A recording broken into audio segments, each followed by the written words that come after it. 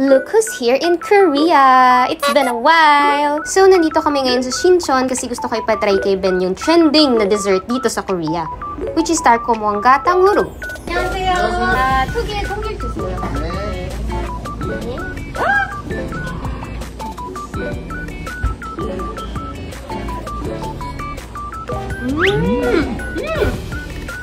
Masarap? Masarap. Hindi ito ganun katamis. Kasi may real fruit sa loob.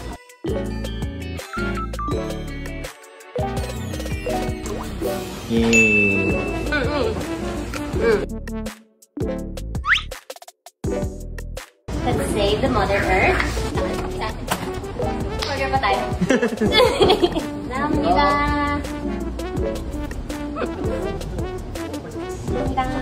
Pang ilan man yan ah? Good? Good.